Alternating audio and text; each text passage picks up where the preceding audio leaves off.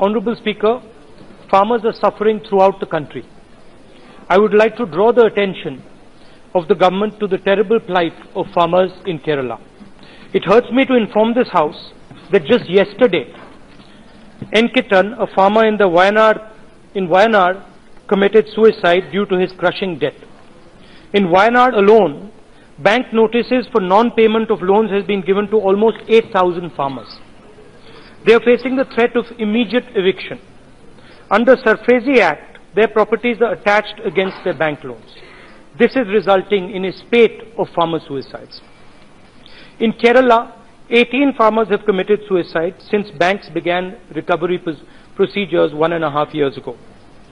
The government of Kerala has announced a moratorium on repayment of farm loans for all Kerala farmers till 31st December 2019. Meanwhile, the government of India is refusing to direct the RBI to consider this moratorium and get it implemented. Meanwhile, in the last five years, the BJP government gave 4.3 lakh crores in tax concessions and waived 5.5 lakh crores for rich businessmen. Why is this shameful double standard? Why does the government act? Why does the government act as if our farmers are inferior to the rich?